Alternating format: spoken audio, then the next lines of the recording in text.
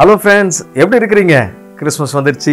உங்கள் வீட்டில் கிறிஸ்மஸ் ட்ரீலாம் வச்சுருப்பீங்க. இல்லை உங்கள் சர்ச்சில் கிறிஸ்மஸ் ட்ரீலாம் அலங்கரித்து டெக்கரேட் பண்ணிட்டே இருப்பீங்கன்னு நினைக்கிறேன். ஆனால் ஒரு காரியத்தை நம்ம மறந்துடக்கூடாது. இந்த கிறிஸ்மஸ் ட்ரீ எப்படி யார் சொன்னா எங்கேருந்து செய்ய வச்சாங்க? ரோமர்கள் தான்.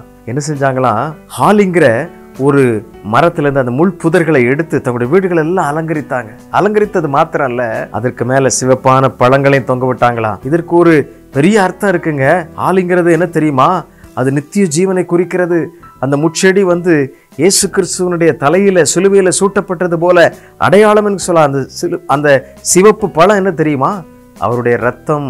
இதை மறந்துடாம நாம எப்படி இல்லாமல் கிறிஸ்மஸ் கொண்டாடிடக்கூடாது? இயேசு கிறிஸ்து பிறந்ததற்கு அடையாளம் என்ன தெரியுமா? இந்த உலகத்தை மீட்பதற்காக தான் அவர் அதற்காக தான் ரத்தம் சிந்திருக்கிறார். ஆகவே மறந்துடாதீங்க அந்த நினைவோடு கொண்டாடுவோம் கர்த்தர் நம்ம வழி நடத்துவார் காட் பிளஸ் யூ